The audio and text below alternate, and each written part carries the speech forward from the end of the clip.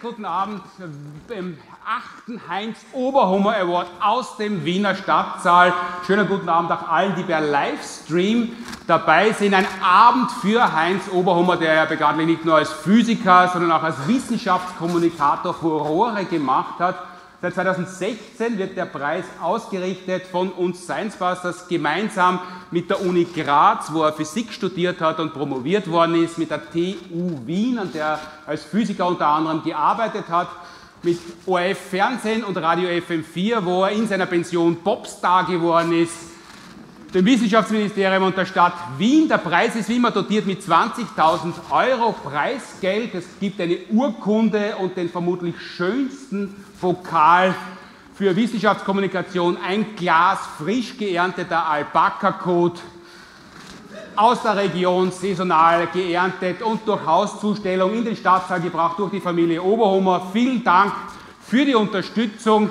Alpakas waren ja neben der Wissenschaft die große Leidenschaft von Heinz Oberhummer. Er hat immer wieder gern davon erzählt, wie lieb sie anzuschauen sind, wie einfach sie zu streicheln sind, selbst für einen Theoretiker wie ihn wie reinlich sie sind. In den finsteren Nächten des Dunkelsteiner Walds hat er manchmal auch bei der Weide das Gatter offen gelassen und sie dann mitten in der Nacht wieder einsammeln müssen. All diese Geschichten hat er leidenschaftlich gerne erzählt und immer ein Glas Alpaka-Kot dabei gehabt und erzählt, das sei sein Talisman. Äh, er hat das immer gern geschüttelt, die Leute auch gerne riechen lassen dran. Wenn man Glück gehabt hat, hat man nicht riechen müssen. Wenn man Pech gehabt hat, hat man riechen müssen und zwar frisch geerntet. Und so hat er die Leute aber hineingelockt in die Wissenschaft und hat ihnen dann plötzlich von Kosmologie erzählt, vom Universum, von Paralleluniversen und wie fantastisch Wissenschaft ist. Deshalb wollen wir einmal im Jahr, wie gehabt, ein großes Fest für Wissenschaft feiern und für Wissenschaftskommunikation, umrahmt wie immer von Musik. Auch heute ist die Heinz Oberhummer Tribute Band am Start. Heinz selber hat ja leidenschaftlich gern musiziert auf der Bühne gestählt durch die Taverne in Obertauern. Wer ihn einmal musizieren gehört hat, der vergisst es nie wieder. So sehr kann man sich gar nicht bemühen.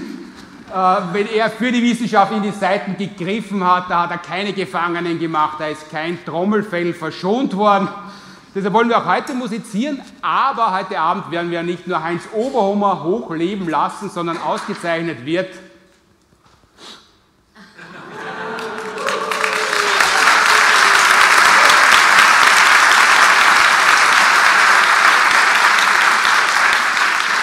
Die Sendung mit der Maus, deshalb zeigen wir heute Heinz nicht nur als Henker an der Kaplan-Gitarre, als Leadsänger der Band Echo des Urknalls, sondern einen kurzen Ausschnitt am Beginn des heutigen Abends, wo Heinz und ich uns einmal in einer Show unterhalten haben über Mäuse, über den Gesang der Mäuse und ihre Essensvorlieben in spiritueller Umgebung. Das glaubt man nicht, Mäuse können singen. Speedy Gonzales.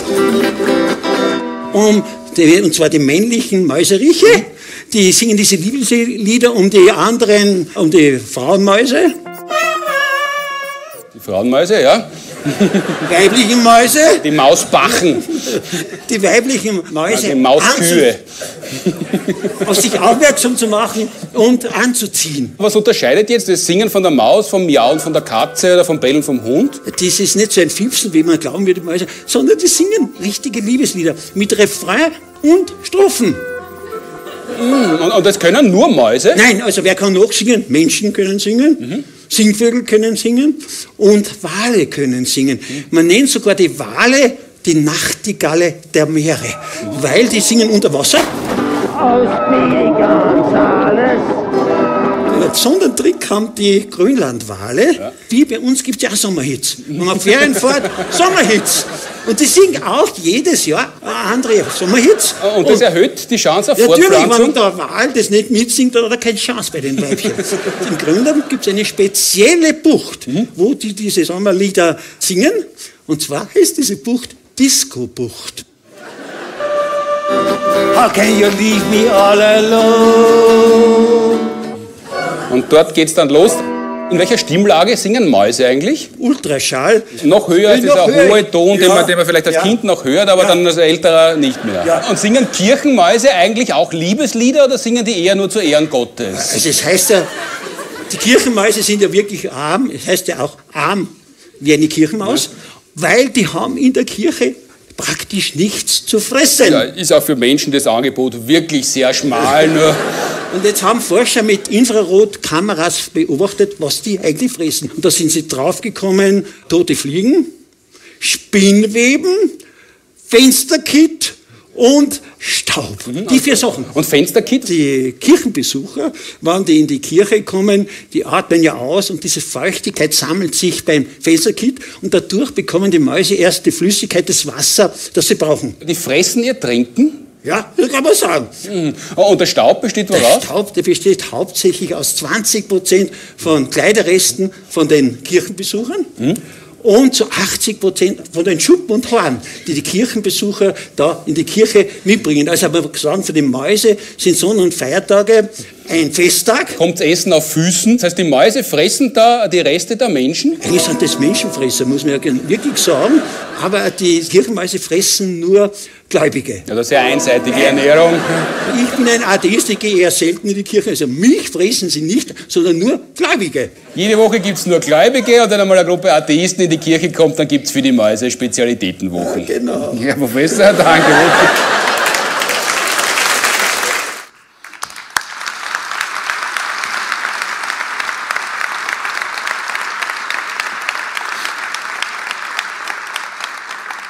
Nicht nur ein leidenschaftlicher Gitarrist, sondern auch ein leidenschaftlicher Atheist, Heinz Oberhummer. Bevor wir jetzt gleich zur großen Mausschau kommen, darf ich aber zuvor noch den aktuellen Mausexperten im Ensemble der Science Busters auf die Bühne bitten. Bitte einen großen Applaus für den Astronomen Dr. Florian Freistetter.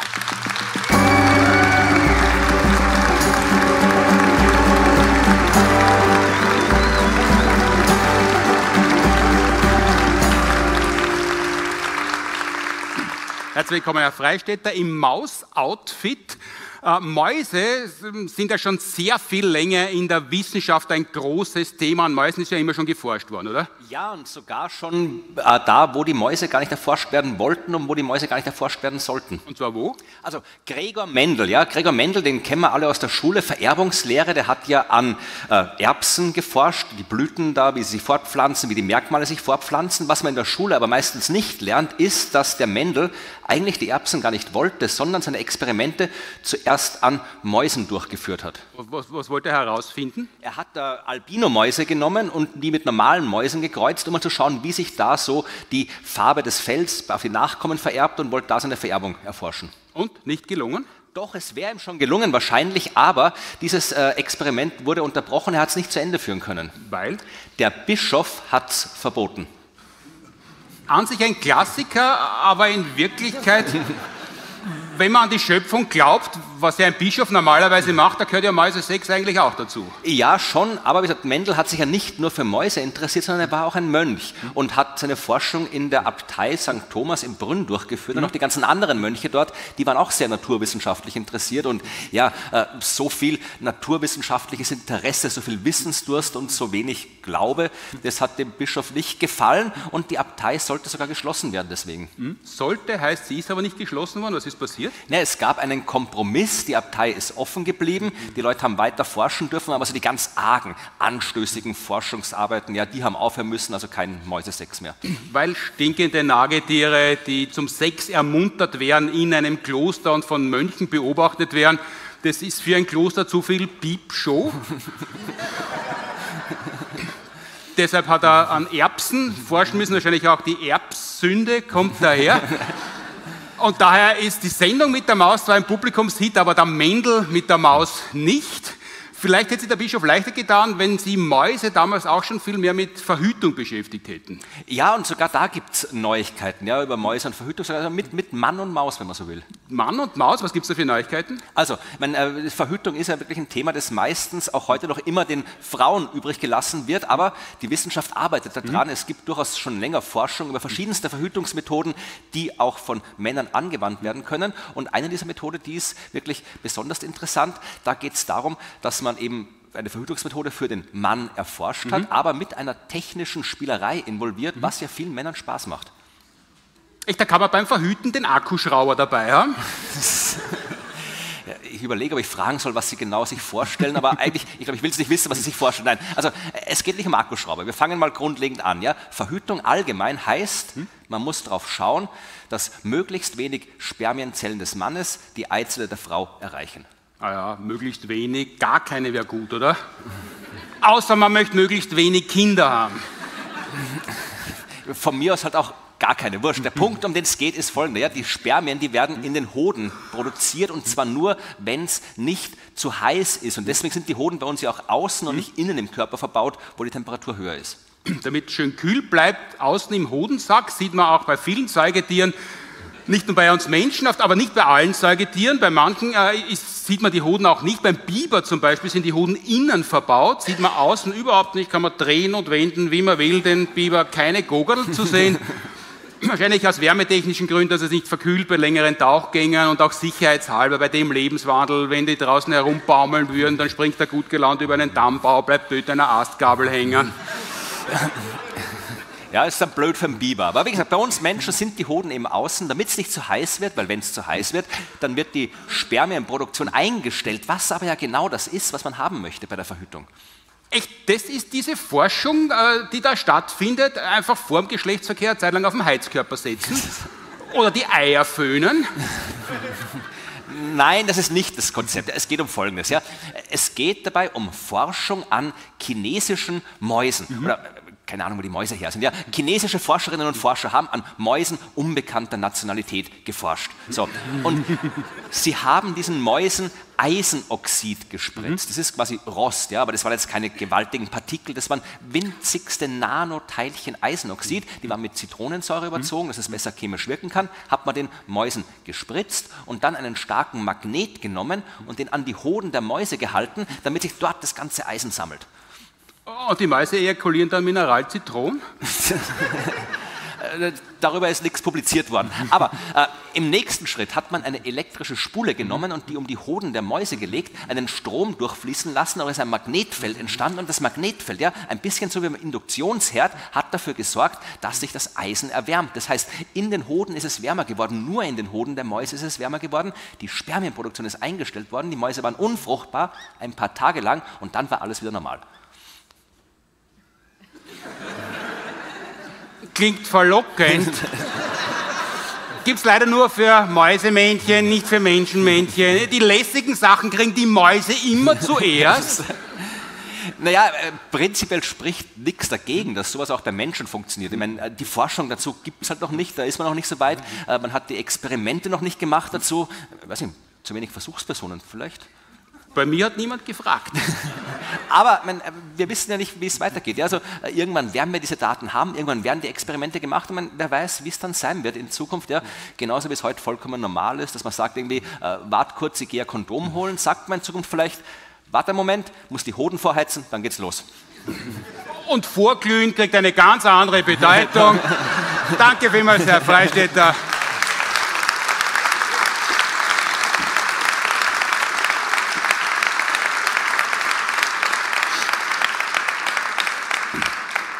Nach dieser kurzen Mauspräambel mit chinesischen Mäusen kommen wir jetzt zu deutschen Mäusen der Sendung mit der Maus. Im deutschsprachigen Raum über die Sendung mit der Maus zu reden, zu fragen, ob jemand die Sendung mit der Maus kennt, das kann man sich sparen. Alle kennen die Sendung mit der Maus. Knapp 2500 Ausgaben hat der WDR bis heute produziert, knapp 100 Preise hat er bekommen. Schöne Preise, aber selten einen so wunderschönen Pokal wie bei uns, gefüllt mit frisch geerntetem Alpaka-Kot, durch das segensreiche Wirken sind unzählige Dinge und Phänomene erklärt worden. Jeden Sonntagvormittag kommt die Maus quasi als Hochamt im Fernsehen.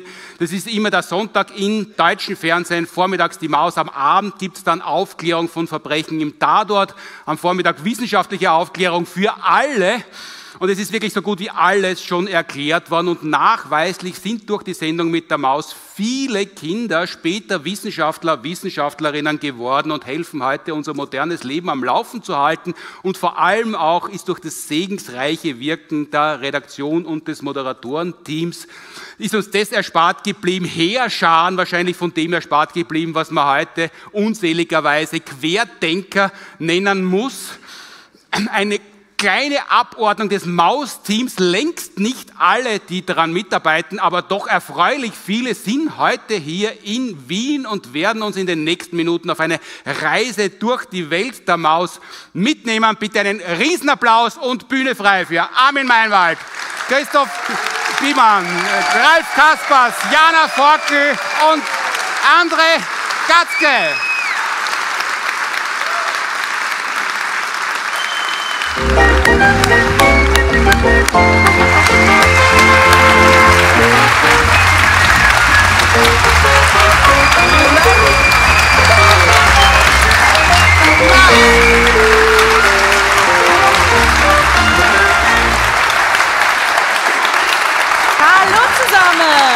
Man mich hören? Kann man mich hören? Hallo, ja. Hallo zusammen, wir freuen uns sehr, dass wir hier sein dürfen und wir haben natürlich im Vorfeld überlegt, wie wir Ihnen allen guten Einblick in die Welt der Maus geben können. Und wir wollen Sie jetzt alle mal mitnehmen auf eine Zeitreise und in dieser Zeitreise, da werden Ihnen so ein paar kleine Experimente begegnen und die sollen so ein bisschen aufzeigen, wie wir versuchen, auf komplexe und manchmal auch auf verblüffende Fragen, wie wir versuchen, darauf einfache Antworten zu geben. Und der ein oder andere hat es vielleicht mitbekommen, vor zwei Jahren hatte die Maus Geburtstag und ist wie alt geworden? 100. Ja! Ja, direkt. Die wissen besser Bescheid. 50 Jahre, genau. Wir haben natürlich gut gefeiert und eine Geburtstagssendung dazu gemacht. Und deswegen reisen wir jetzt zurück über 50 Jahre in die 70er. Da hat nämlich alles angefangen. Die 70er Jahre. Wir sind die sechs von der Müllabfuhr, Müllabfuhr, Müllabfuhr und Wer sagt, dass Mädchen dümmer sind? Der spinnt, der spinnt, der spinnt.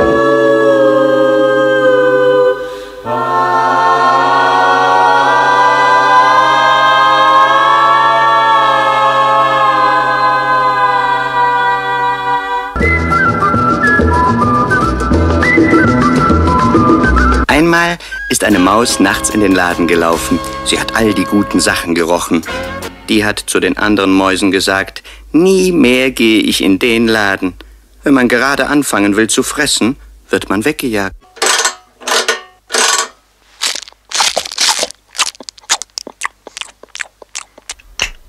Das Augenklappern wird mit Kastagnetten gemacht.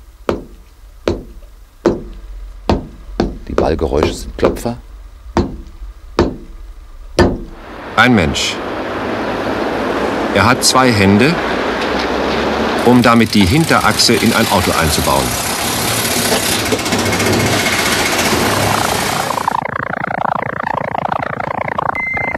Der neue Sepp heißt jetzt Zapp.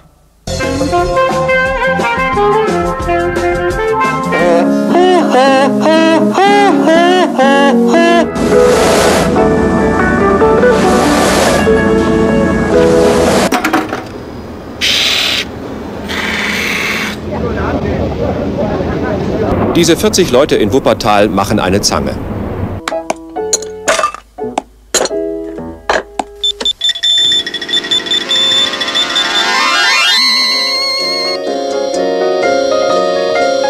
Qualmt der Toast im Toaster düster, schlagen Flammen aus dem Lüster. Wer muss her? Wer muss her? Wer muss her? Wer muss her? Die Feuerwehr.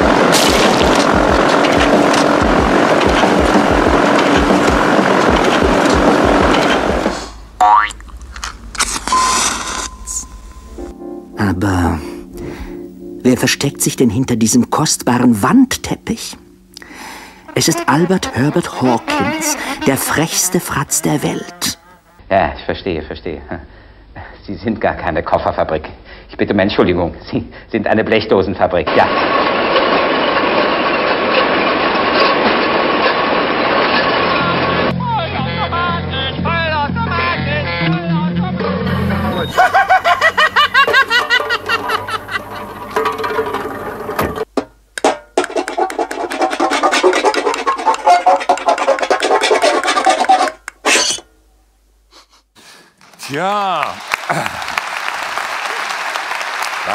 Danke.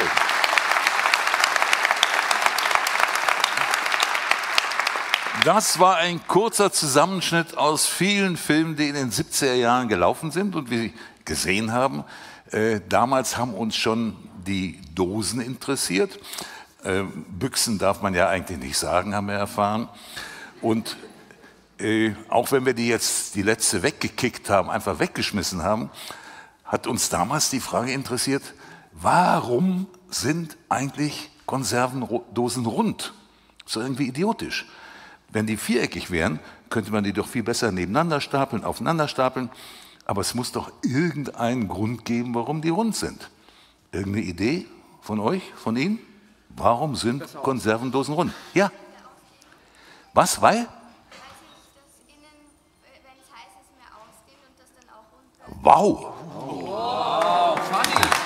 100 Prozent.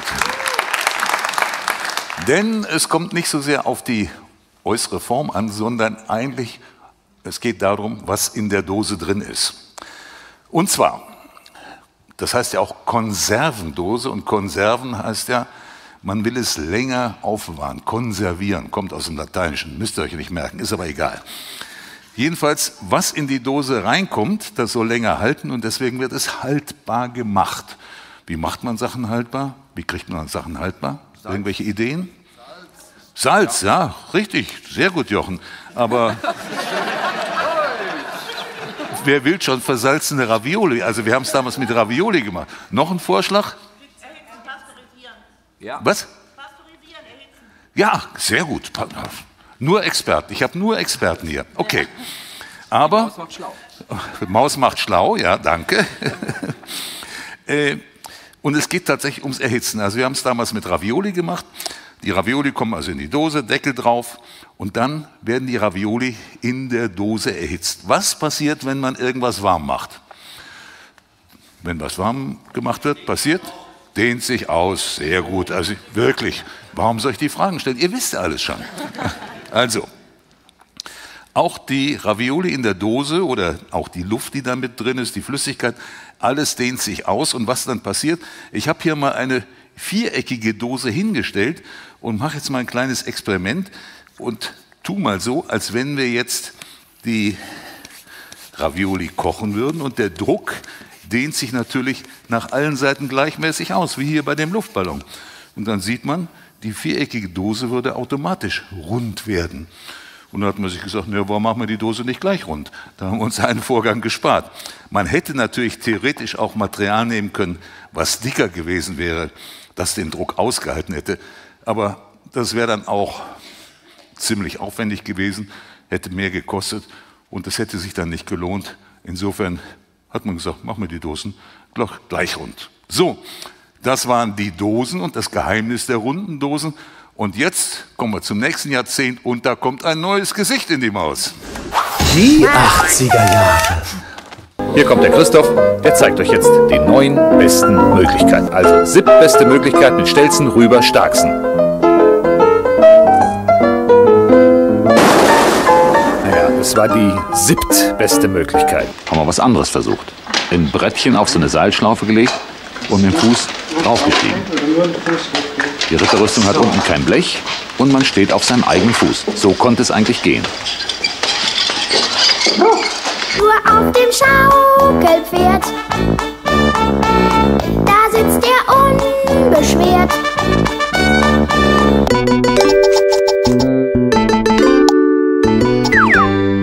Auf der anderen Seite da drüben stand ein Bett. In diesem Bett habe ich mit meiner Schwester geschlafen. Meine Schwester da und ich hier. Und in diesem Raum, der sehr klein war, spielte sich alles ab. Also was passierte damals, wenn ich einen neuen Pullover brauchte? Man konnte, wie gesagt, keinen kaufen.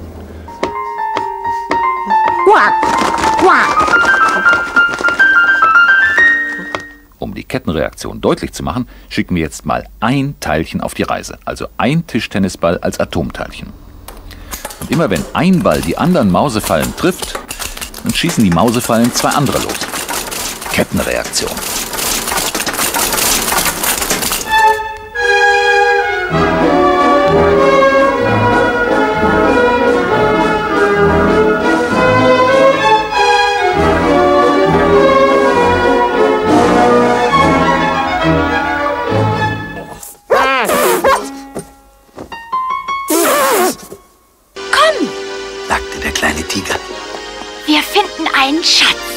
Und Achtung.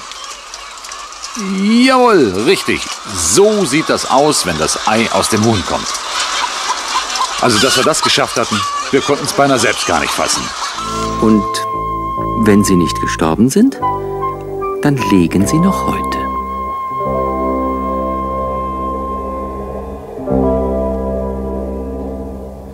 Ja.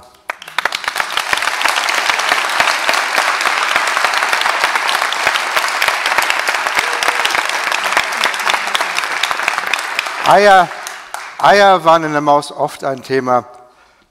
Vom Hühnerpopo, das Stangenei, Ostereier, das Ei des Kolumbus. Und einmal haben wir einen Film gemacht mit lauter Ei-Experimenten. Eins zeige ich jetzt mal. Hier habe ich ein hart gekochtes Ei. Was macht man, wenn man ein Ei gekocht hat? Hm? Ja, also, nach dem Kochen, vor dem Essen. Dazwischen, was macht man dann noch? Schälen, vor dem Schälen. Abschrecken, das wissen offensichtlich nicht viele hier. Abschrecken, ich zeige mal, wie es geht. Also, Ei zwischen Daumen und Zeigefinger, das Ei scharf angucken und, ah! und dann ganz schnell ins kalte Wasser. Ja, ist ein bisschen Stress, aber so schreckt man Eier ab. Das macht man, damit man die gut schälen kann. Ja, danke. Das ist jetzt ein bisschen verformt hier durch die Lagerung, schätze ich mal. Du hast es verschreckt. So. Piddel, piddel, piddel. Du hast zu viel verschreckt. So viel. Ja, ne, hat so richtig so ein, hier so ein, so ein, so ein, naja gut, schauen wir mal. Okay, jetzt möchte ich, bitte fragt mich nicht warum, dieses Ei in diese Flasche kriegen. Durch diese Verformung ist das ein bisschen kritisch. Aber habt ihr eine Idee, wie das gehen könnte? Wie ich das reinkriege da? Gewalt. Pusten. Gewalt, Pusten. Hammer und Sichel. Hammer. Hammer und Sichel, Amen. Kommunist. Ha! Kleinstein. Feuer. Drücken. Feuer. Feuer ist eine gute Idee. In dem Film haben wir das damals wirklich auch mit Feuer gemacht. So ein bisschen Papier gerollt, so ein Fidibus gemacht und dann ähm, da Hitze drin gehabt. Und das Ei ist wirklich reingegangen. Ich habe eine bessere Idee im Laufe der Jahre entwickelt, nämlich heißes Wasser. Heißes Wasser tue ich jetzt hier rein. So, heißes Wasser, heißes Wasser, heißes Wasser. Nicht zu wenig. Da drin Pass ist auf, jetzt dass das Glas nicht platzt. Wasserdampf. Ja. Wasserdampf. Dieser Wasserdampf ist ja Dampf, aber er wird auch wieder zu Wasser. Und wenn er wieder zu Wasser wird, braucht er viel weniger Platz. Und dann kann der Luftdruck gegen dieses Ei drücken. Jetzt brauchen wir einen Countdown. Ja. Ja. Zehn abwärts. Zehn, Zehn, neun, acht, sieben, sechs, fünf, Finger weg, vier, vier, drei, drei, Finger weg. Drei, zwei, Eins, anderthalb, Äh, 0,5, 0,3, 0,2. Gib ihm Zeit. ja, ja, ja. Ah.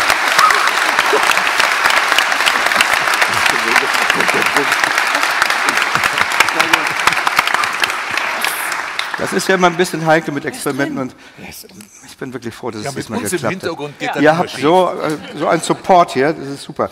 Ja, ne? Ei in der Flasche. Applaus für, die, für das Ei, bitte. Hat das Ei gut gemacht.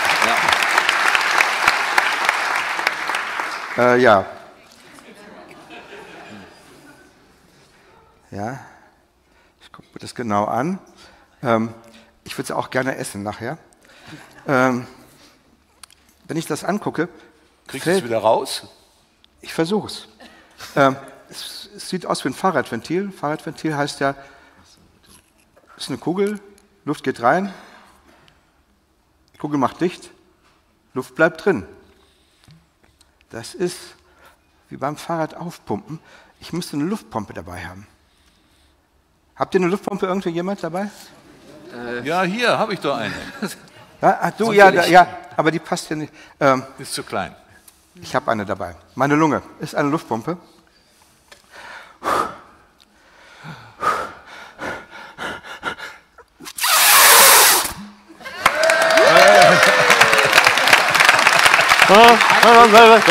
Ah, ja.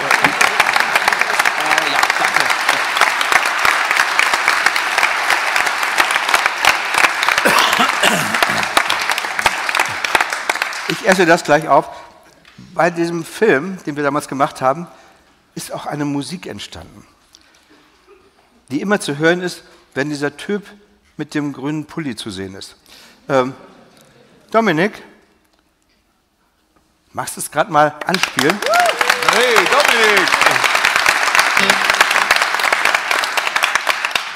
Dominik!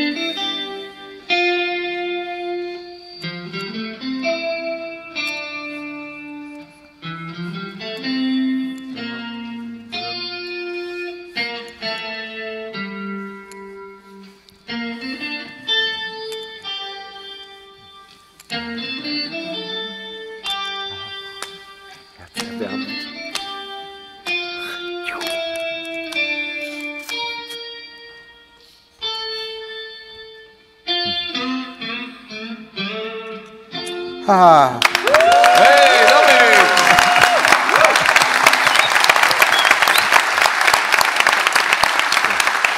Da fühle ich mich richtig heimisch. Da fühle ich mich richtig heimisch. Das Schöne an dieser Melodie ist, dass sie sehr vielfältig verwendbar ist. Wie vielfältig? Sie ist inzwischen in vielen Filmen aufgetaucht, können wir jetzt sehen. Christoph beim Einkaufen.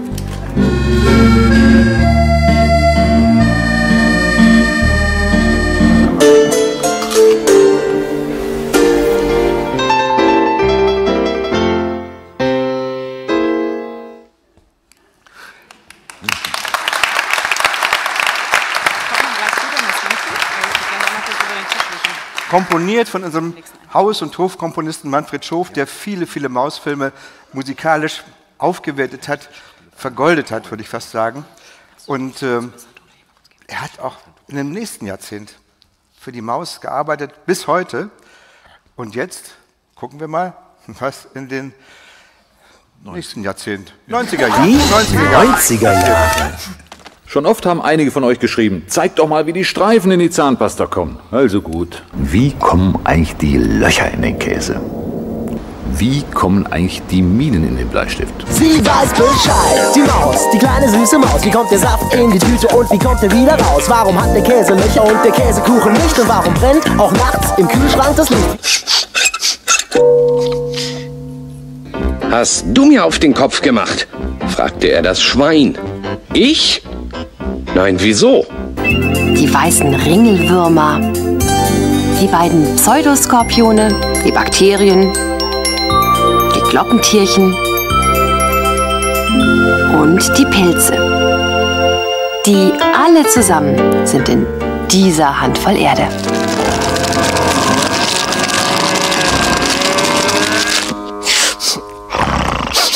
Das ist der Hase Nulli. Und das ist der Frosch Brisemut. Die beiden sind die dicksten Freunde. Weißt du, Nulli, auch wenn wir nicht das Gleiche essen können, ich habe dich trotzdem ganz dolle lieb. Seid ihr auch immer so begeistert, wenn eure Eltern sagen, esst mehr Obst und Gemüse, da ist Vitamin C drin, damit er gesund bleibt? Achtung! Und jetzt zum ersten Mal im deutschen Fernsehen? Körperpolizisten, die Vitamin C bekommen, werden wieder lebendig. Als wenn ein Auto an der Tankstelle getankt hätte. Den Ausdruck blau machen für Faulenzen kennt ihr doch auch. Wisst ihr auch, wo der Ausdruck herkommt? Ja, Herr Gelb und Frau Blau, die liebten sich. Sie hieß Emmy und der Friederich. Sie mochte sein Gelb und er mochte ihr Blau. Er wollte ihr Mann sein und sie seine Frau. Eine Nachricht zum WDR-Rechner.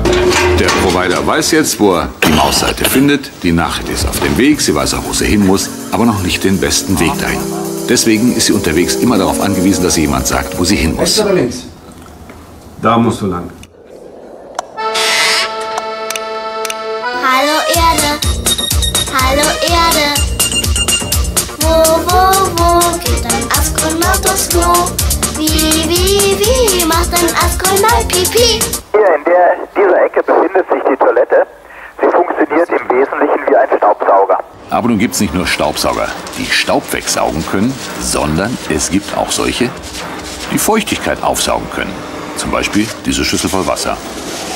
Wups ist das Zeug weg. Und genau so funktioniert im Prinzip das Astronautenklo. Die beiden Brüder Mongolf Bär hatten nämlich das erste Luftschiff gebaut.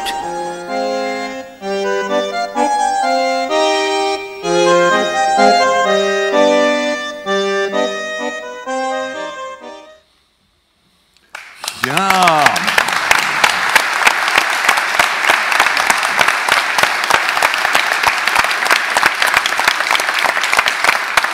War natürlich auch wieder ein Zusammenschnitt von ganz, ganz, ganz vielen Filmen. Ich hoffe, ihr habt so einen kleinen Eindruck gekriegt. Vielleicht kannte der eine oder andere den ganzen Film auch schon. Jedenfalls, Entschuldigung, der Mongolf Bär. Das ist natürlich eine typische Geschichte von Captain Blaubeer, der immer die wahnsinnigsten Lügengeschichten erzählt und erfindet. Und die sind meistens ja immer ganz charmant. Aber am Mongolf Bär hat ja irgendwie sowas mit Luftfahrt zu tun. Und das Fliegen ist ja ein Traum der Menschheit seit Urzeiten. Kennt ihr vielleicht sogar im alten Griechenland gab es das ja schon.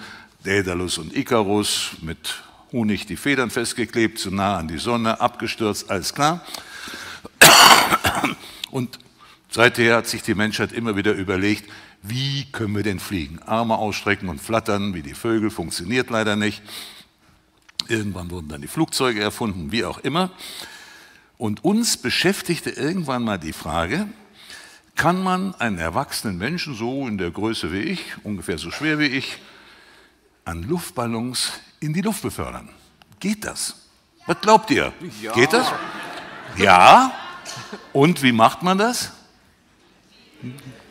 Was? Viele Wie? Luftballons. Wie viele? Wie viele? Ja, klar. Also, äh, bis wir das geschafft hatten, äh, war ziemlich viel Gedankenschmalz durch die grauen Gehirnwindungen gelaufen.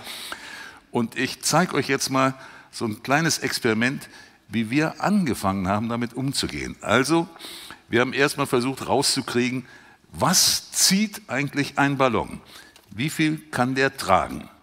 Und habe ich hier mal einen Apfel. Da war eigentlich eben noch eine Schlaufe dran. Soll ich da dran machen? Nee, nee, ich habe sie schon, ich habe sie schon, ich habe sie schon, ich habe sie schon, ich habe sie schon. Beinahe habe ich sie. Und diese Schlaufe mache ich jetzt hier um den Stiel von dem Apfel. So, und ziehe fest. So, und jetzt ziehe ich mal, da, den, äh, der Ba- Ballon zieht und die Waage sagt mir jetzt, dieser Ballon zieht 68,6 Gramm. Damals meine Luftballons waren etwas kleiner und der Apfel auch ein bisschen kleiner, aber bei meinem Versuch zog ein Luftballon 42 Gramm. Und jetzt kann man natürlich rechnen. Ein Luftballon wiegt oder zieht 42 Gramm, 10 Luftballons 420 Gramm, 100 Luftballons 4,2 Kilo und so weiter und so weiter und so weiter. Rechnen, rechnen, rechnen, rechnen. Und das Ergebnis war, man braucht über 2000 Luftballons, um jemanden, der 96 Kilo wiegt, in die Luft zu bekommen. Und das ist natürlich nicht ganz ungefährlich. Ich hatte mir da einen alten Kumpel ausgesucht, das ist ein bekannter Ballonfahrer gewesen, mit dem ich auch schon mal Ballon gefahren bin. Der hat mich auch getauft als Ballonfahrer, Freier Armin von Haltern, wie auch immer. Und der hatte keine Angst, mit den Luftballons in die Luft zu steigen. Aber damit er uns nicht entschwand, mussten wir den irgendwie an einem Seil festhalten, damit er uns nicht irgendwann äh, durch die Nebelschwaden gelaufen wäre. So, und wie das dann aussah, das könnt ihr jetzt sehen. Damit der Franz uns nicht wegflog, hatten wir den an einem Seil befestigt. Sonst wäre er uns unter Umständen im Nebel verschwunden. Ja, jetzt waren alle Vorbereitungen fertig. Jetzt kam es drauf an. Klappt es oder nicht? Jawohl, es hat geklappt.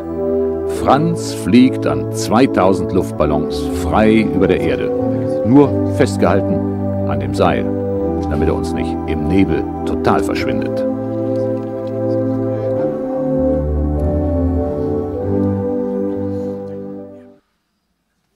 Tja.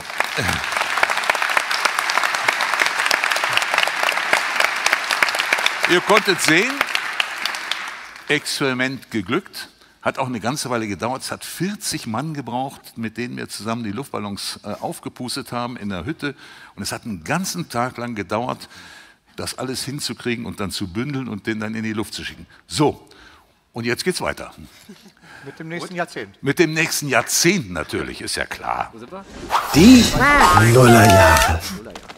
Wir müssen mal wieder Buße tun, wir müssen uns in Säcke kleiden und Asche auf unser Haupt streuen, denn wir haben einen Fehler gemacht.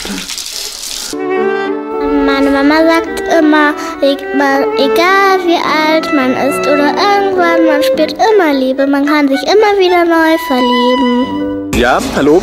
Ich bräuchte einmal Feuerwehr, komplett. Ja, kann auch ruhig mit äh, Leiterwagen sein. Und dann bräuchte ich einen Rettungstaucher. Dann bräuchte ich vielleicht Unterwasserkameras und, ja, ich glaube, vielleicht noch so ein Schlauchboot. Das ist nicht dein Ernst, oder? Du willst doch nicht da einsteigen? Doch. Christoph, der stolze Kapitän eines Papierboots auf Rheinfahrt. Hat man sowas schon mal gesehen?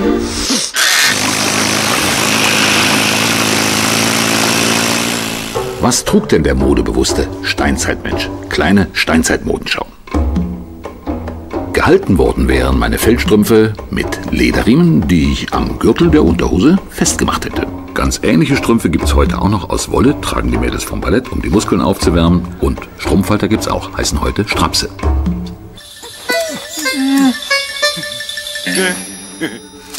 Die Verkleidung war täuschend echt. Niemand merkte etwas. Da ist er. Hallo alle miteinander. Hallo. Die Japaner begrüßen sich anders. Das ist Mutter Yuka, der Sohn Shinosuke, der Sohn Kento und der Vater Yuichi. Konnichiwa. Christoph war mal wieder in der Wüste. Und als er so mit seinem Freund Joma am Lagerfeuer sitzt, wollte er wissen, wo die Menschen dort, die Beduinen, eigentlich den Brennstoff für ihr Feuer herkriegen. Weil die Kamele gern würzige und aromatische Pflanzen essen, riechen die Köttel eigentlich ganz gut, wenn sie trocken sind. Und die Jalabia, dieses lange Hemd, ist nicht nur zum Sammeln praktisch, sondern auch zum Transportieren. Und dann habe ich mich gefragt, gibt es vielleicht irgendwelche merkwürdigen Hühner, die Teleskopbeine haben und die solche Stangeneier legen? Natürlich gibt es solche Hühner nicht, aber die Stangeneier gibt's.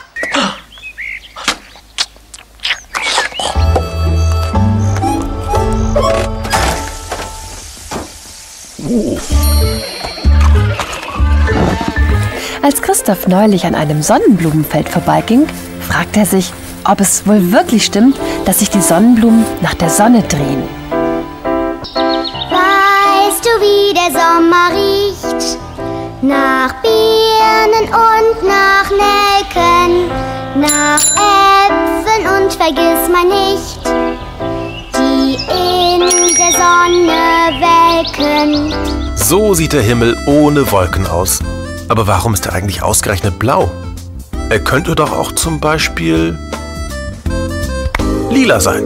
Auch eine schöne Farbe.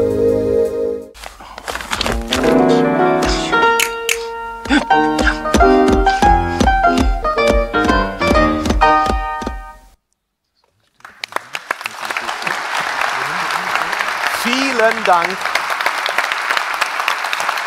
Ah.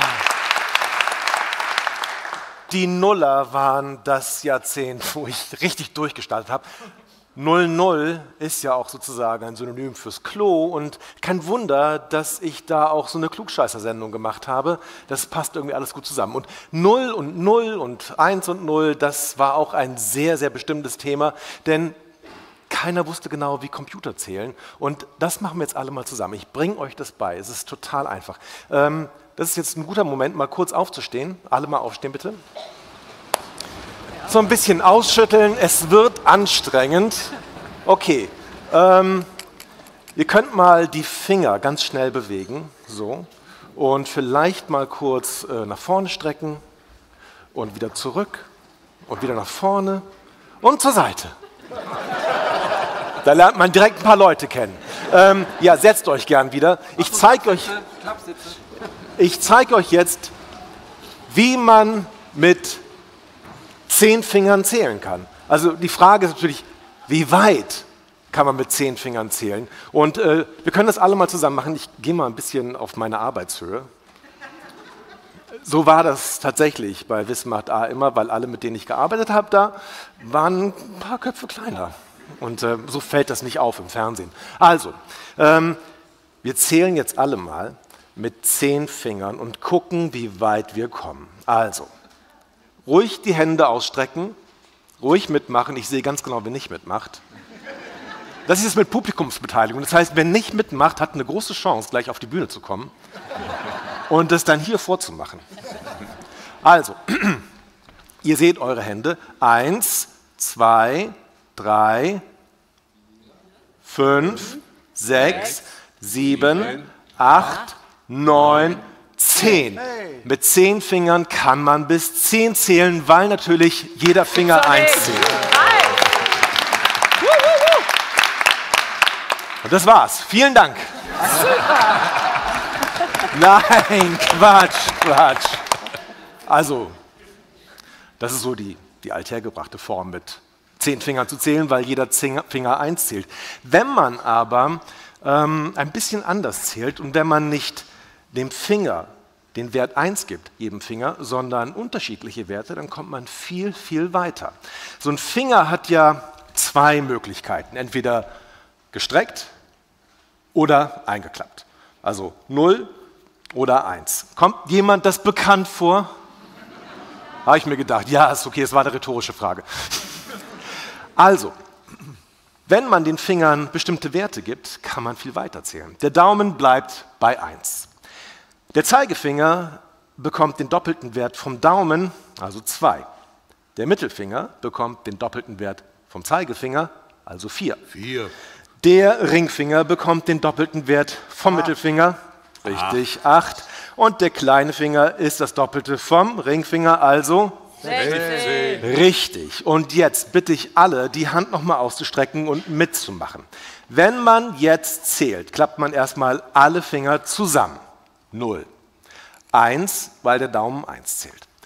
2, der Daumen eingeklappt, der Zeigefinger ausgeklappt, denn der Zeigefinger zählt 2. 3 wird so gemacht, weil 2 plus 1 ist 3. Und jetzt alle die 4. Und das ist ganz schön, weil wenn einem mal so ein Mittelfinger rausrutscht, dann kann man dann sagen, ich habe nur binär gezählt. Und so geht es immer weiter. Alle mitmachen. 5, 6, 7, 8, 9, 9, 10, 11, 12, 13, 14, 15, 16, 17, 17, 18, 19, 20, 21, 22, 23, 24, 25, 26, 27, 28, 29, 30, 31, weil 16 plus 8 plus 4 plus 2 plus 1 ist 31. So weit, so gut. Jetzt kann man noch die zweite Hand dazu nehmen. Also, das Doppelte von 16 ist 32. Dann hat man hier die 64. Dann hat man hier die 128, hier die 256 und hier die 512. Und so kann man mit 10 Fingern bis 1023 zählen, weil wenn man alle gestreckten Finger zusammenzählt, die ganzen Werte, dann kommt da 1023 raus. Man muss nur vorsichtig sein bei der 132, weil die könnte eventuell zu Missverständnissen führen. Vielen Dank.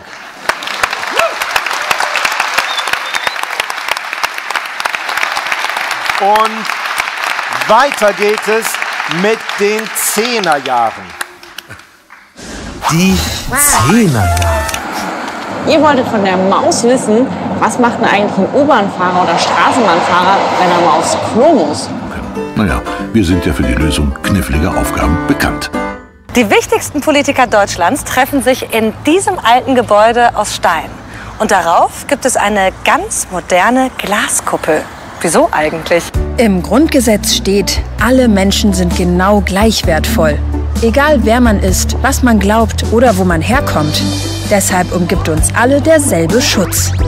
Mein Name ist Tiba, ich bin äh, neun Jahre alt. Das ist Tiba und ihre Familie. Sie sind vor dem Krieg in ihrer Heimat in Syrien nach Deutschland geflohen. Seit zwei Jahren zeigen wir euch, wie sich ihr neues Leben hier entwickelt.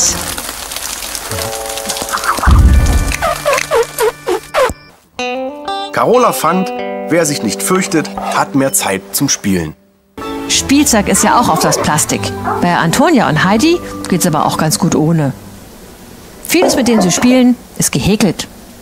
Und ihre Brettspiele, die sind aus Holz. Klose schleicht sich heran und staubt den Ball trocken ab und nagelt ihn dann unter die Torlatte von Jefferson. Tor! Unfassbar!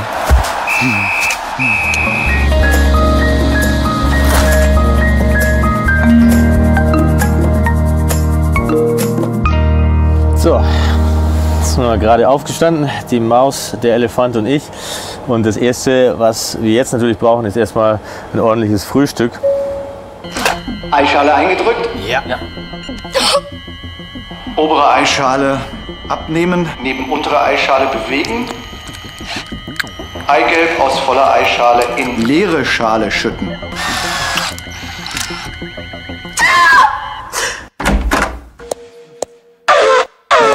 Man darf nicht einfach Sachen behalten, die einem nicht gehören. Man darf nicht einfach. Gehört das auch dir? Ja, Dann ist ja gut. Und ich suche mir einen guten Platz zum Zugucken.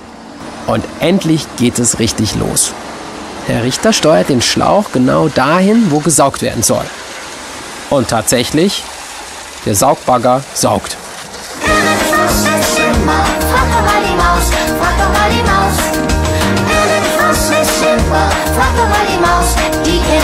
Kabel wieder rein, in den Verstärker und die Gitarre klingt richtig laut. Tja, aber wie funktioniert so eine E-Gitarre? Die Holzbläser tätscheln ihr Knie. Die Streicher schwingen ihre Bögen in der Luft. Und die Blechbläser heben Füße. Sein Nachbar wackelt mit den Fingern. Das alles ist ein geheimer Applaus der Orchestermusiker für den, der so schön alleine gespielt hat. Ja,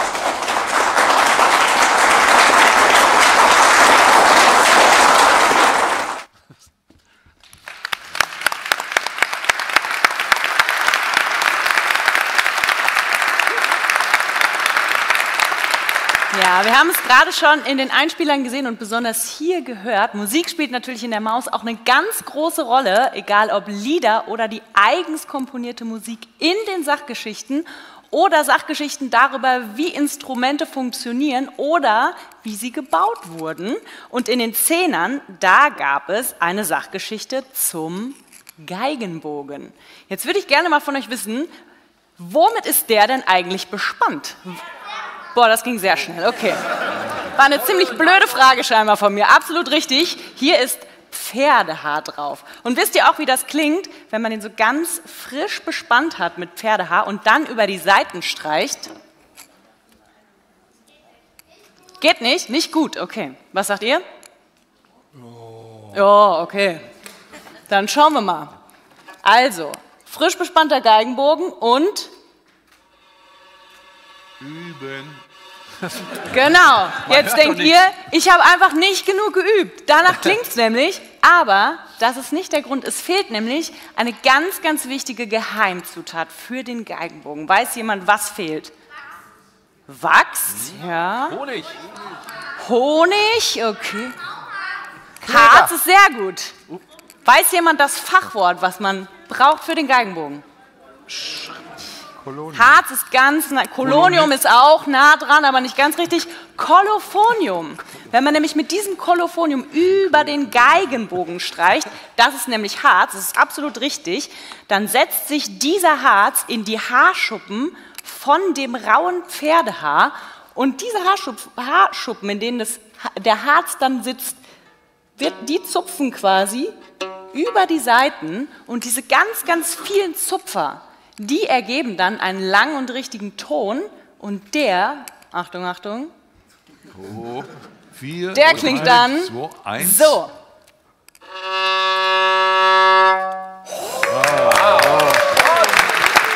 War das ein U oder ein K? Lange gut.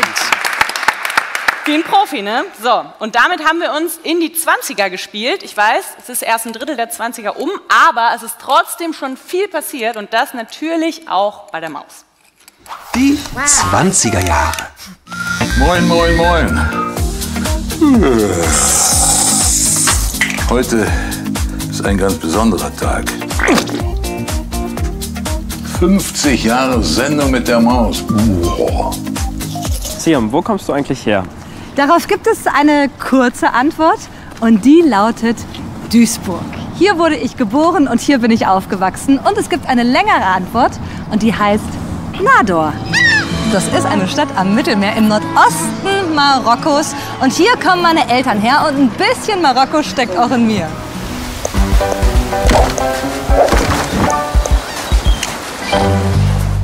In Corona-Zeiten sollte man ja immer eine Maske dabei haben. Viele haben selbstgenähte Stoffmasken. Aber es gibt auch andere.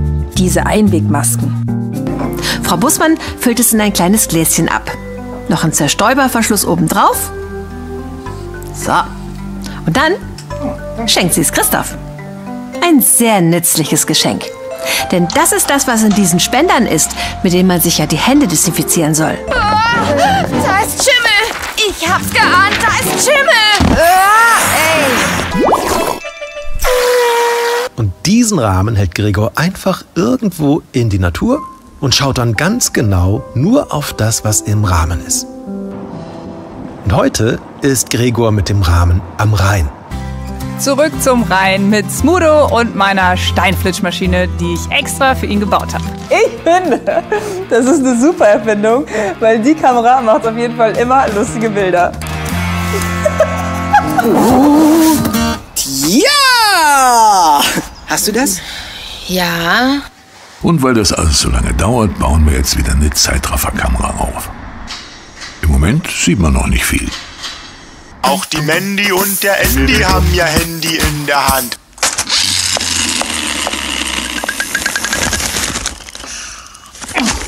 Die Zugspitze ist auch ein ganz besonderer Ort für unsere Sommergeschichte. In den nächsten sechs Wochen kümmern wir uns ums Klima, genauer gesagt um den Klimawandel. Aber wir machen das nicht alleine.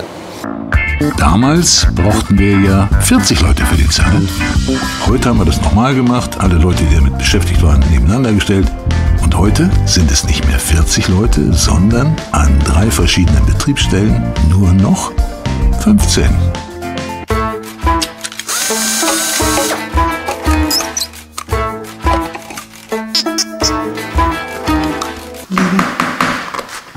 So, das Kunstwerk steht. Jetzt müssen nur noch die Überschriften in Punktschrift aufgeklebt werden.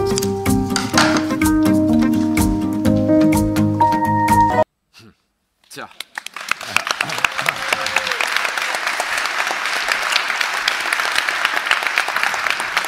Tja, wer kennt das Problem nicht? In der Küche, in der Studenten-WG überall noch Reste von kleinen, rohen Spaghettis zu finden.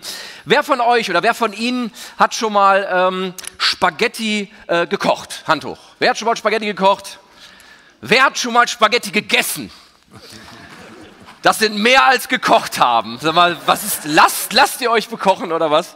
Okay, also, dann kennt ihr vielleicht alle das Problem. Man äh, teilt die Spaghetti in der Mitte und es werden immer mehr als zwei Teile. Viel, man kann es oft sagen, aber wir bei der Maus machen es halt immer so, wir probieren es aus. Wir müssen es selbst herausbekommen. Wir müssen gucken, ob es wirklich so ist. Und daher guckt mal alle äh, rechts und links an euren Sitzen, da findet ihr rohe Spaghettis. Und die nehmt ihr alle mal in die Hand Ich hoffe, ihr könnt jetzt noch klatschen, denn äh, wir wollen einmal für Josef, für unseren äh, Mausassistenten applaudieren, der die alle verteilt hat. Vielen Dank, vielen Dank. Überall eine Spaghetti an jeden Sitz. So, jetzt nehmt ihr die in die Hand. An jedes Ende einmal zwei Finger und dann, das, das wird gleich großartig aussehen. Und dann biegen wir sie einmal in der Mitte und dann guckt ihr, was passiert. Eins, zwei, drei. Hey. Eine große Sauerei, das Theater freut sich. Sehr gut. Also, mehr als drei Teile, zumindest bei fast allen. Und falls ihr sie das alle nicht so gut gesehen haben könntet, dann haben wir für euch äh, ein Spaghetti-Ballett in Superzeitlupe gefilmt. Nicht aufhören, weitermachen. Ist wieder selbst komponierte Musik. Großartig, oder?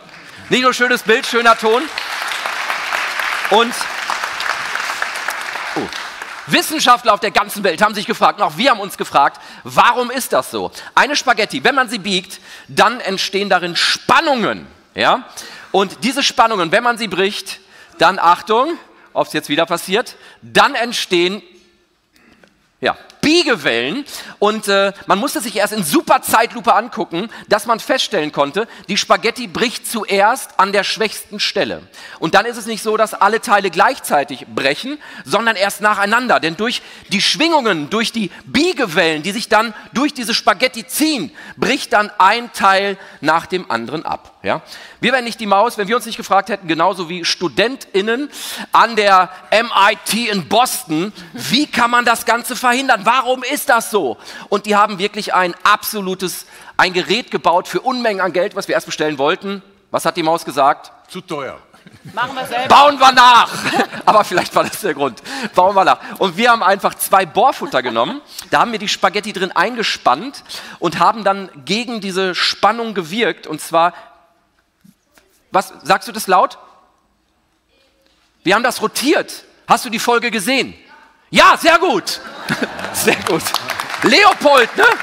Ja, gerade ins Buch geschrieben. Genau, man rotiert es, man dreht es gegeneinander. Das Wichtige ist aber erstmal überhaupt rauszubekommen, wie viel Grad man die Spaghetti verdrehen muss. Da vergingen zig Versuche und wir haben es festgestellt, ungefähr 270 Grad muss man die Spaghetti rotieren. Habt ihr noch ganze Spaghettis? Nee, ne? Ich mach's euch vor. Also, an beiden Enden festhalten, eigentlich einspannen. Ich hoffe, es funktioniert jetzt. Ähm, wir haben übrigens, nee, darf man nicht beim WDR sagen. Ne? Wir haben es extra schwarz abgeklebt, sind Barilla Nummer 5. Auf jeden Fall klappt es damit am besten. Und sie müssen frisch sein. Wenn man feuchte nimmt, dann, dann funktioniert es nicht so gut. Also, ineinander verdrehen. Ich liebe diese Stille. ineinander verdrehen. 270 Grad ungefähr. Dann biegen und dann ja! Ja! Bom, bom. Und dann funktioniert's. Also einfach zu Hause mal ausprobieren, schöne Sauerei machen, ja, alle vers Der Trick in der Tüte. Uh. Und so. Und dann machst du so.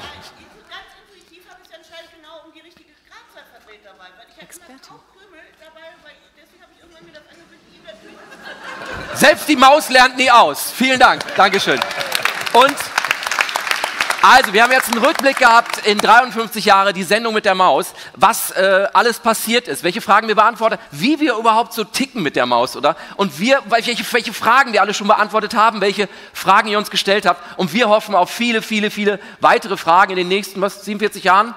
Wenn wir alle 100 sind, oder? Die Maus zumindest. Ja, ja. Ja? Also wenn wir, wenn wir alle Fragen, die uns gestellt wurden, wir haben ja mal vor Jahren mal eine Umfrage gemacht, schreibt doch mal auf, was euch so auf der Seele brennt und schickt uns das. Und äh, da dachten wir erst, passiert nicht viel. Und dann kamen über 72.000 Zuschriften. Per und die meisten, wurden, die meisten wurden nur einmal gestellt. Ja, ja. Also, Pass auf. In der kleinsten Computerschrift war das ein Wälzer, der war so dick. Und die zehn meistgestellten Fragen, die haben wir dann rausgenommen und die haben wir dann beantwortet. Wenn wir die anderen 72.000, ja, die hat der Ralf beantwortet, habt ihr ja gesehen. Wenn wir die anderen noch beantworten müssten, dann müssen wir noch bis zum Jahr 2157 arbeiten. Gut, wir sehen uns Wir also. haben noch was Vielen zu Dank. tun. Ja. Dankeschön. Dankeschön. Als Armin Maywald, Christoph Thiemann, Ralf Kaspers, André Gatze und Jana Forkel. Danke vielmals, die Maus. Danke.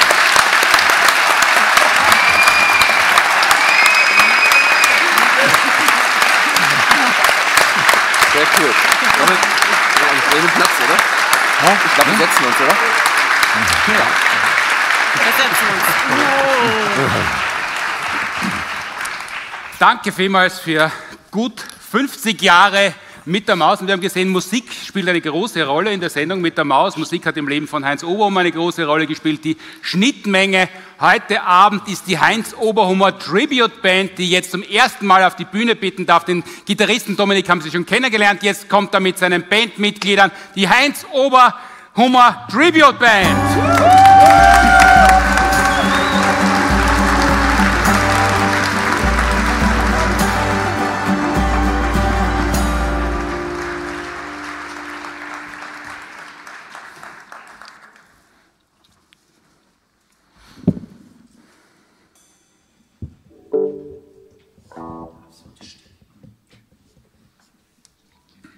So, das folgende Lied, das wir spielen, hat den Titel Hier kommt die Maus. Und es gibt eine Stelle, die bietet sich hervorragend an, dass wir alle gemeinsam singen können.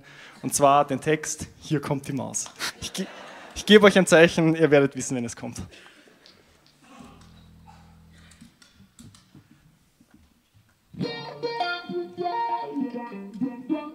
Ich erzähle euch die Geschichte von einer, die ihr kennt. Sie lebt in der Glotze auf weißem Pergament. Sie ist orange, größer als ein kleiner Elefant. Und schon das ganz alleine macht die Sache interessant. Wisst ihr, wen ich meine? Habt ihr sie erkannt? Lang ist die Nase und kurz sind die Beine. Sie ist ein Star, sie hat den Bogen raus. Meine Damen und Herren, hier kommt die Maus. Sie weiß Bescheid, die Maus, die kleine süße Maus, wie kommt der Saft in die Tüte und wie kommt er wieder raus? Warum hat der Käse Löcher und der Käsekuchen nicht und warum brennt auch nachts im Kühlschrank das Licht? Wie kommt die Wurst in die Pelle und wo kommt die Pelle her und warum mag die kleine Maus den Elefanten so sehr? Die Antwort bekommst du direkt zu dir nach Haus, schalt die Klotze an, denn hier kommt die Maus.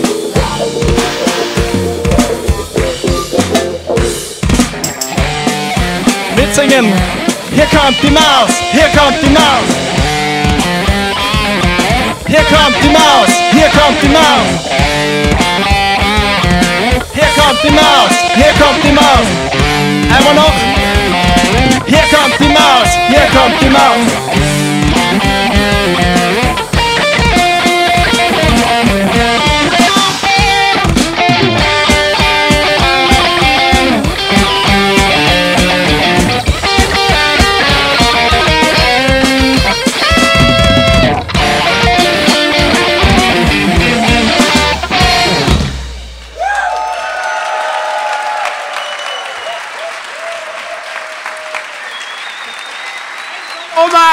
Tribute Band und die Maus.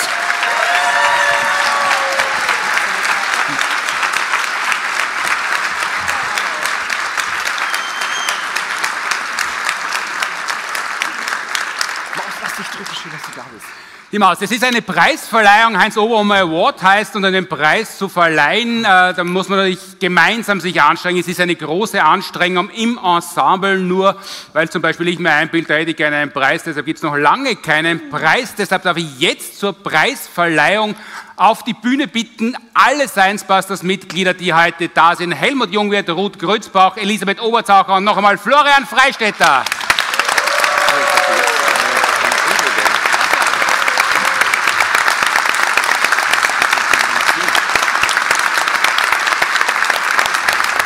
Schöne Farbe, schöne Farbe.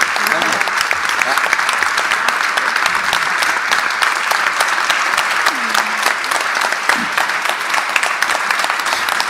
Mikro stört, wollen wir das wegstellen? Das Mikro müsste weg, sonst ist das mal auf dem Foto drauf.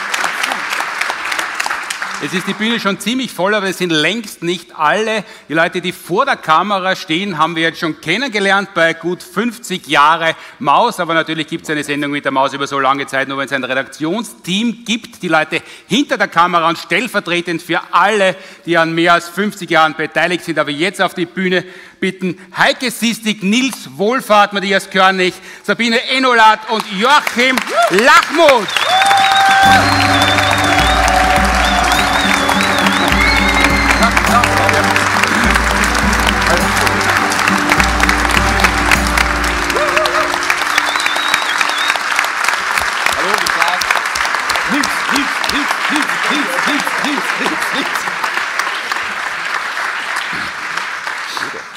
Und weil den Preis natürlich auch jemand vergeben muss, ähm, kommt noch jemand auf die Bühne und zwar zwei Personen, die schon von Anfang an dabei waren, uns unterstützt haben, wie wir auf die Suche gegangen sind, wie können wir den Heinz Oberhummer Award aufsetzen und finanzieren. Und sie sind heute da und ich darf Sie auf die Bühne bitten, um den Preis 2023 zu vergeben von der TU Wien. Bis Anfang Oktober war sie viele Jahre Rektorin Sabine Seidler und vom Bundesministerium für Bildung, Wissenschaft und Forschung Minister Martin Polaschek.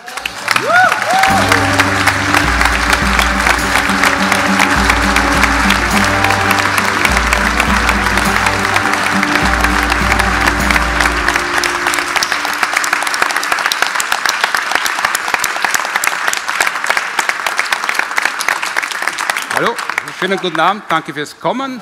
Reicht das Mikrofon gleich weiter und ich darf Sie bitten, die heute zehn Gläser Alpaka-Code und die Urkunde an die Sendung mit der Maus zu übergeben. Wie teilt man uns das?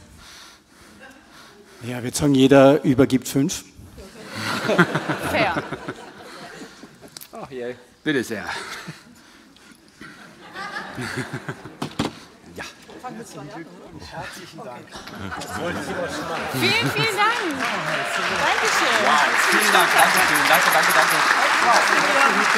Danke schön.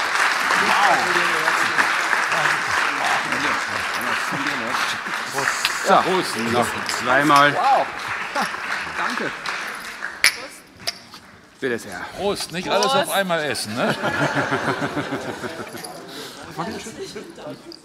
Bisschen wie Kaffee, ne? Es ist auch so hart. So. Ja, wir möchten uns ganz, ganz, ganz, ganz herzlich bedanken Und die für Urkunde. den Oberhummer Award. Vielen, vielen, vielen Dank an die Science Buster und äh, MC Martin Hintiger. Und äh, die uns nicht nur hier den schönen Preis gegeben haben, sondern uns auch ganz wunderbar in Wien äh, willkommen geheißen haben. Wir hatten richtig tolle Zeit hier. Und natürlich auch äh, ein Riesendank an das Team hier vom äh, Stadtsaal Wien, die hier diesen wunderschönen Rahmen gemacht haben. Und natürlich auch der Riesendank an das ganze Team von der Maus.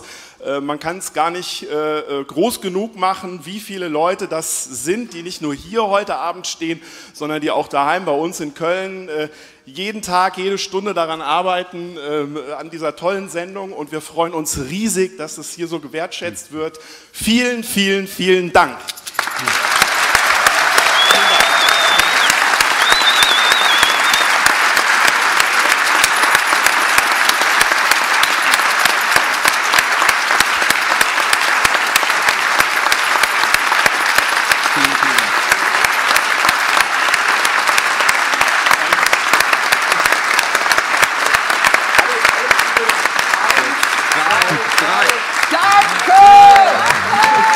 Ach so, verbeugt oder? Ja, danke, das ist toll. Vielen Dank, ihr Herz.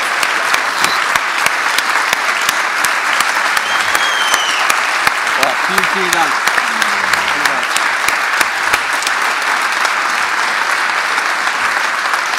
Vielen Dank.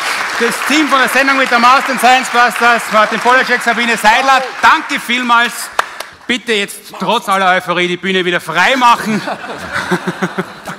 Die Heinz Oberhummer Tribute Band hat wie immer noch ein zweites Lied einstudiert und wird in Stellung gehen.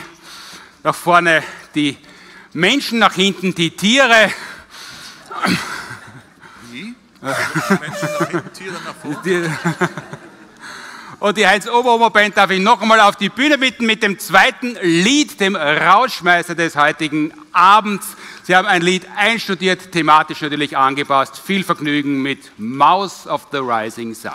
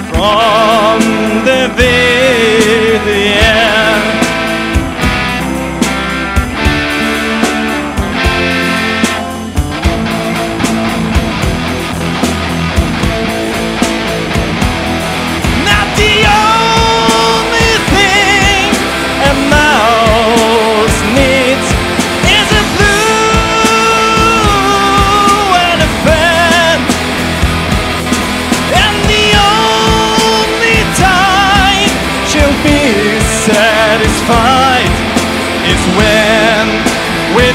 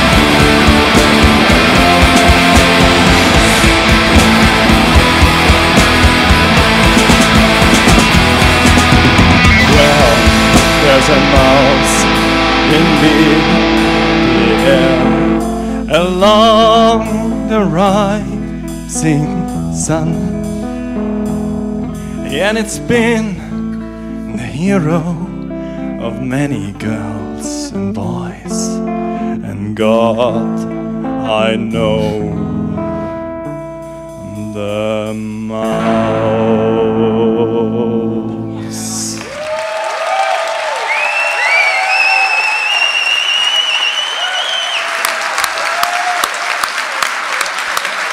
Danke vielmals.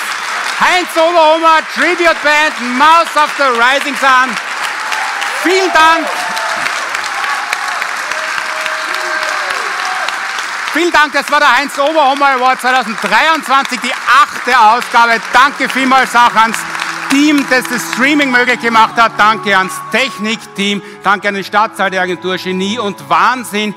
Danke fürs Kommen in den Stadtsaal. Danke fürs Zuschauen über den Livestream. Das war's jetzt kommt der Teil 2 des Heinz Oberhomer Awards. Traditionell geht es ja noch ungefähr so lang weiter mindestens. Er wird hoffentlich genauso farbenprächtig, unterhaltsam und schön wie Teil 1. Es gibt jetzt einen Büchertisch, wo es Bücher zu erschwingen gibt. Die können Sie sich signieren lassen, aber vor allem sind alle der Science Busters, die heute da sind und vor allem alle Preisträger, Preisträgerinnen vom Maus-Team, von der Redaktion noch draußen zum Kennenlernen, zum Hallo sagen, zum Fragen stellen und natürlich auch die Maus, mit der Sie sich auch fotografieren lassen können, wenn Sie das denn wollen, sind Sie herzlich dazu eingeladen, danach Open End für Gespräche über Wissenschaft, über Alpaka-Bämmerl, über Mäuse und was immer Ihnen noch einfällt. Und wenn Sie das Theater dann verlassen, dann treffen Sie an der Tür Menschen, die mit einer Spendenbox dort stehen und die sammeln fürs Integrationshaus für Menschen, die nicht feiern können, die aber dort Aufnahme gefunden haben und Unterstützung finden im Integrationshaus. Da können Sie was hineinspenden,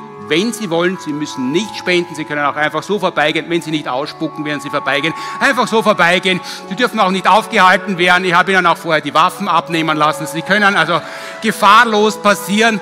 Meine Bitte ist nur, Sie sehen ja, die Band hat laut gespielt. Es ist schön, dass der Stadtsaal mitten in der Stadt steht, aber rundherum wohnen halt auch Menschen und damit es da keine Beschwerden gibt wegen Lärmbelästigung, dass es zu laut geworden ist, bitte Sie, wenn Sie was spenden wollen, spenden Sie leise, spenden Sie Mucksmäuschen leise, keine Münzen, nur Papiergeld. Danke vielmals, bis zum nächsten Mal, Wiederschauen.